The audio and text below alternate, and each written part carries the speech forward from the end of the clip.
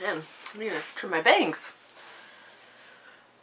Quarantine hair, am I right? So I filmed this video yesterday when my hair was a bit cuter and uh, went to edit it and I was out of focus the whole time. So I hope that is not the case again today. Hi friends, I'm Felicia. Welcome back to my channel. Or welcome if you're new. Um, yeah, there's a lot of new faces around here. So thank you for subscribing and checking out my channel. I hope that you are not disappointed. So, hi. Today I'm going to be um, sharing with you my TBR for the month of May, um, which includes my reads for Maybe Midrash. Maybe Midrash is a month-long reading event that is uh, that was created by Jason at Old Blues Chapter and Verse and is also co-hosted by myself and Steve from Steve Donahue. And yeah, the point of this readathon is to um, read um, one work of fiction and one nonfiction book um, that deal with uh, religion. Any religion doesn't have to be any um, specific Western or Eastern or whatever religion, just any religion that you decide on. To read um, something that deals with religion and faith in a in a different way than what we usually do. Um, so we're encouraging people to read uh, things um, outside of the traditionally published um, Christian fiction.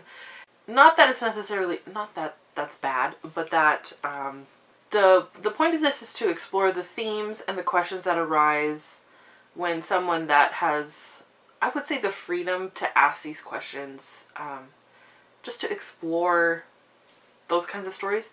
At least in my experience with uh, traditionally published Christian fiction, they tend to be very formulaic and they tend to be not really concerned with maybe exploring um, people having doubts, people of faith having doubts. Um, they tend to just be more surface level, which is fine, but I think, at least for myself, and I don't know if everyone, oh, the sun's coming out, um, if everyone can uh, relate to this, but I know in my faith journey, I have, um, I have grown up as a Christian. I have been in a Christian, raised in a Christian home, Christian environment, always going to church, and I have like the the good girl story. Like I, I was never, I never, you know, strayed from that path. But as a young woman, I went through a period that was there I was very seriously grappling with my faith and struggling to make it my own and wondering what even was the point. And there were many reasons for this. Um, and it was not an easy time. Um, it was very hard for me. And so I don't like to think about it a lot um, 10 years down the road. But um, it was very serious and very real. And so at the end of it, I'm happy that I went through it because, like, it it was a blessing. I knew that um, I just had the sense the whole time that God was not going to let go of me. So I felt free to kind of grapple with these issues and with these questions that I was having and just trying to make it real for me. So that being said, um, since then, when I've read Christian fiction, I don't relate to the struggles that these people are having because they seem so surface level. And I think that we should be okay with reading a story where someone is maybe grappling with their faith on the verge of walking away. I think that to me that feels that feels very real because that's where I've I've been in the past. That wasn't quite what I was planning to say, so now I'm not quite sure where I was. So I think the point with exploring maybe Midrash is that that we want to read stories that are kind of along those themes of what is faith, what is religion, what does it mean to believe in a higher power and all these kinds of things. And I think when we come at it through literary fiction, there's more there's more space to ask these questions. And I don't think that we need to be afraid of reading things like that. at least for myself, um, I'm coming at this from a place of, I think, pretty good discernment. I'm pretty rooted in my beliefs and what I believe about God and what I believe about the Bible and about Jesus. And so I'm comfortable exploring these themes even if I might not agree with them. Although I am still sticking to books in Christianity, so maybe I'm not stepping as far out of the my comfort zone as I could. Anyway, so I'm going to share with you the books that I plan on reading for uh, maybe Midrash. I do have, it's, you're supposed to read one fiction, one nonfiction. Of course, I have more. So, because I'm an overachiever and I couldn't pick. So, I'm going to share with you the books that I plan on reading. I also have a few, uh, just a couple recommendations for nonfiction. When I was thinking about what to recommend, I didn't have any fiction books that came to mind and Jason has some good recommendations on his recommendations video and yeah so I'll just share with you my couple nonfiction um yeah I'll do that first the first one that I want to recommend and that I, I would really recommend that you read this book at some point um, is Girl Meets God by Lauren Winner this is her memoir of her um, journey to Christianity. Um, she was raised, um, her dad was a Jew and her mom was a lapsed Baptist is what it says on the back. and I, if I remember correctly, um, that wasn't really practiced in their home, like either one of those facets. But then as a young woman, she, um, she pursued, um, converting to Judaism, like she did all of the proper things that you need to actually become an Orthodox Jew. And then a few years after that, she um, started down this road to meeting Jesus and becoming a Christian. So it was it's a beautifully told account of of this faith journey. I just I personally loved it. I read it twice, um, but it's been many years. So I would definitely like to read this book again at some point. It's just, it's just a wonderful journey that she takes you on and I definitely was impacted by it when I read it. So I would really recommend this one um, at some point, even if you don't read it this month. And then the other book that I want to recommend, I've only read one time, like 12 years ago, so I don't remember a lot about it. Um, but when I was looking at my shelf, it stood out to me that I wanted to recommend it to you. And it's Stumbling Toward Faith by Renee Altson. This is also another faith memoir of her journey to um, meeting Jesus and God as father. The author comes from a um, abusive past and I believe it was in the name of God that she was being abused, which is just horrible to read about, to know that this is happening in the world is just awful. So in this memoir, she's coming from that past and then walking through this journey of is believing in God and being a Christian, is it even worthwhile? Is there any good that can come from this with the past that she's had and the experiences that she had? Um, the writing is beautiful. She is also a poet, so there's um, some of her poems in here. And it's it's a it's a little short one, so it won't take you very long to read it, but um, I found it very impactful when I read it, and I would definitely like to reread this at some point, not this month. Um, but yeah, I would recommend this one as well for nonfiction. So now I'm going to tell you yeah, I'll just tell you my nonfiction picks since I'm talking about this is the nonfiction book that I plan on reading and that is still by Lauren Winner. So this is her memoir of, um, the sub subtitle is Notes on a Mid-Faith Crisis. In this memoir, she is recounting um, a time in her life when I believe her mother passes away and then um, her marriage is collapsing and so she is, hello, she is confronted with a lot of doubt in this time in her life. This is actually one of the books that Jason recommended in his video and I was like, I already picked that so I've had this book on my shelf for a few years. I also have uh, one other book by her that I haven't read, her latest one, I think. So I'm looking forward to reading this book and seeing how she went from, you know, telling this story of her conversion to Christianity and then this where she is struggling with it, I guess. So this is my nonfiction pick. I have uh, one other nonfiction pick that I I want to just start. I don't, well, I don't know. I'll show you. It's Bonhoeffer by Eric Metaxas. And so this is um, a biography about Dietrich Bonhoeffer, who was a, a pastor um, and a theologian, and also he was a spy during World War II, and he was working against the Nazi regime. So I find him to be a very fascinating person. I borrowed this book from my father-in-law uh, years ago, like probably three years ago, which is deeply embarrassing that this book has sat on my shelf that long. Um, so I would really like to attempt this this month as well. Um, I really want to just read it and give it back to him because I feel bad that it's been on my shelf this long. It's 600 pages, so it's a bit of a break. Tome Topple is happening this month, so I may try to read this for my Tome Topple book. We'll see. We'll see. And then moving on to my fiction picks, the first uh, one that I plan to read is The Sparrow by Mary Doria Russell.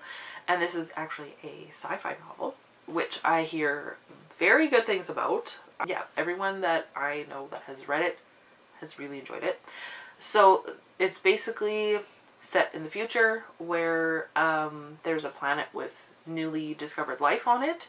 And so a team of Jesuit missionaries are going to this new planet to uh, evangelize to them. That's really all I know about it. And I'm really looking forward to reading it because I hear such good things about it.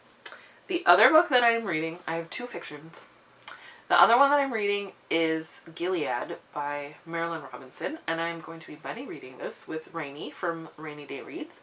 And um, we're going to be picking that up later in the month, I think like maybe at the halfway point. And so this is, all I know about this one is that it's, I believe it's a, uh, told from the point of view of a minister telling his life story to his son in a letter or something, I think. I could be wrong. Um, but I hear very good things about that one as well, so I'm looking forward to reading that. I have one more. You guys, this is ridiculous. I don't know if I'm going to read this one or not, but it's an option. And that is The Complete Stories by Flannery O'Connor. And actually won this in a giveaway from Jason last year. So thank you, Jason, for the book. Um, and Flannery O'Connor was a Catholic. And I think this is just the complete stories, her stories. I honestly don't know anything about what these stories are about. I haven't read anything by her, but I hear good things. So I would maybe like to read this. I'm just looking at this now. There's lots of stories. So uh, maybe I could read like a story a day and get through it. Maybe. Maybe that's ridiculous. I don't know. We'll see. We'll find out at the end of the month how I did. Okay, so those are my maybe Midrash picks, recommendations. This video is very long already. Storm? Yes, hi. You want to come here? No? Okay. Yeah? What are you whining about? What's up? How's it going? Yeah. How's it going? What is that noise? You have a, a gooper on your face. Okay. Aw, you gonna sit on my lap? Don't drink my tea though. Okay. I'll quickly tell you the rest of the books that I'm planning on reading through the month of May. This is very ridiculous, just so you know. So firstly, I'm taking part in the um, Anne Along, hosted by Tiano the Books and Amanda from the Curly Reader. So we are on Anne's House of Dreams this month, which is book five. And I'm looking forward to reading it because this has been many years since I've read this one. Um, I've read the first four books a few times and now we're moving on to the rest of the series which I've only read once. So I'm looking forward to exploring this. One of my goals this year has been to read, um, to listen through the Ultimate Sherlock Holmes collection, narrated by Stephen Fry on Audible. So I'm listening to one book a month, and I also happen to own the physical book for this month's read, which is The Adventures of Sherlock Holmes by Sir Arthur Conan Doyle. This is book three, and yeah, I'm enjoying listening to them so far. Um, before this year, I had never read a Sherlock Holmes story. This is so stupid. I have three books from the library that I would like to read this month. They're only due June 30th, and starting on May 4th, libraries in Manitoba may open again at like a reduced capacity.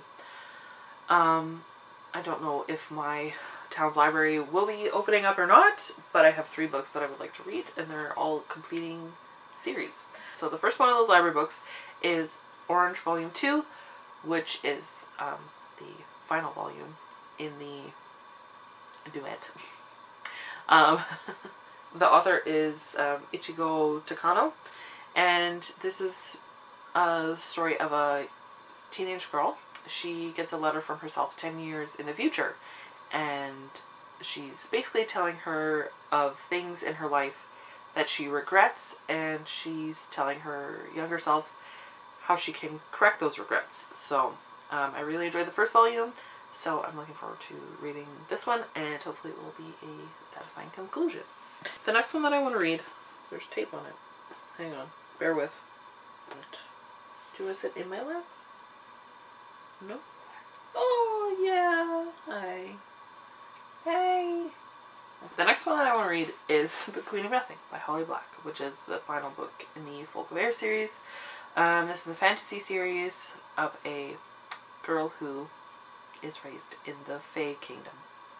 So, um, I really enjoyed the first two books, so I'm looking forward to finishing this. And it's just over 300 pages, so it's not even that long, which is nice. Because I have this one, The Toll by Neal Shusterman, which is, let's see, over 600 pages. So, cool.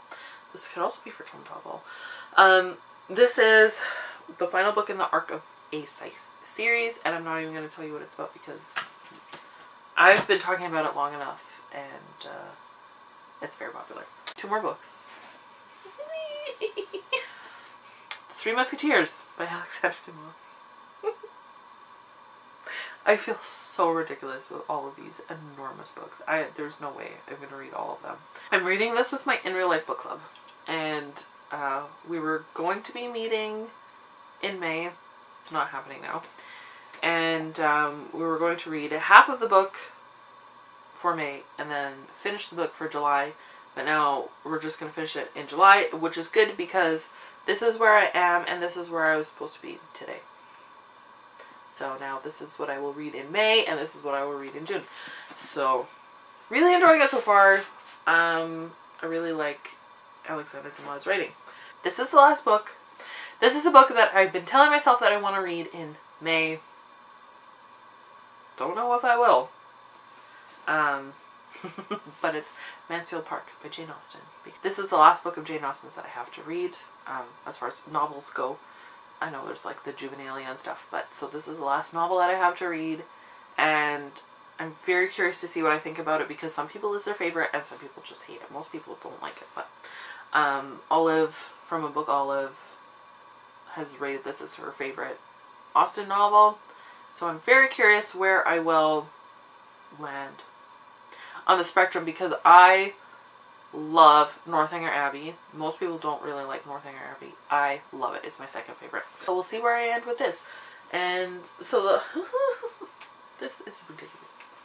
This is ridiculous. Oh, I did this wrong. Are you ready? I'm not. this is so stupid. These are all of the books that I plan to read this month. It's not to happen. Plus the two audiobooks that I don't have physical copies of. So that's very silly. So that's what I plan on reading in May. And then also, I, uh, I had pre-ordered the Ballad of Songbirds and Snakes by Suzanne Collins. I'm not even going to attempt to read that until June. Um, that was what I had planned to uh, read for my birthday. My birthday is May 28th. Feel free to send me a book if you want. I'm just kidding. but I would like books. oh dear. I, yeah, so my birthday is May 28th. And I'm really hoping by then that um, I'll at least be able to go out for dinner and get uh, some milk bubble tea because that's kind of what I like to do on my birthday. I like to go to my favorite Mexican restaurant with my husband and then go get milk tea from the place down the street that makes the best milk tea that I've had. And then we like to go to Chapters and uh, I buy a book for my birthday. So hopefully we'll be able to do that. Um, bookstores can open in Manitoba. So Chapters might open, not sure. Who knows what will happen by the end of May? That's four weeks away already. In four weeks, many things can change, as we have found out this year. So let me know how you're doing. How are you doing? Are you doing well? I am doing mostly okay. I've had some hard days, um, but for the most part, I am okay. I'm a homebody. I'm an introvert. So being at home all the time is not a hardship for me. And working from home has been delightful. Starting on Monday, we're going to start kind of integrating back into the office. So I will be going in three days a week in the morning, starting at 8 until whenever I'm done my work, which will probably be like noon. So that's fine. I've really enjoyed not answering the phones. My job is, the main part of my job is being a receptionist. And I don't like answering the phone, but that's fine. It's fine. I have a really great workplace. I really like where I work. Um, don't love my job that I actually do, but I like where I work, so I've been there for six years already, so it's okay. And um, yeah, so things are going well. Like I miss, I miss my family a lot, and I miss my friends, and I miss church. Easter was so, it felt so dumb. It felt so dumb. Um, I am really involved in the worship ministry in my church, and so I like to make Easter special. And so to be at home on Easter felt very weird. And that was a hard day for me. I felt very wrong the whole day. So I ended up baking cookies and delivering them to um, our family and uh, my best friend. So we like dropped off cookies at the door and um, so it made me feel better. I just hope that soon well, I don't want things to go back to normal normal. There are some things that we can do without, but um, at least as far as, you know, connecting with people and, you know, not being so cautious of strangers and being afraid to touch people and be too close to people. That I'm not enjoying. I I'm an introvert, but I really care about people. So um, I don't like that. That kind of fear and I can't wait for that to go away. I think I'm done talking to you now. This is a very ridiculously long video. At this point I've been talking for half an hour, which is far too long. So um, I hope that you have a really good day. Let me know how you're doing. If you want to buddy, buddy read any of these books that I've talked about, let me know. Yeah, let me know if you're taking part in maybe Midrash. Let me know what you're up to, how you've been, yeah, that's all that I have. So thanks for watching. Uh, thanks again to all the new people. If you stuck around this long, congratulations. So I hope you have a really good day, and until next time, so thanks for all the fish.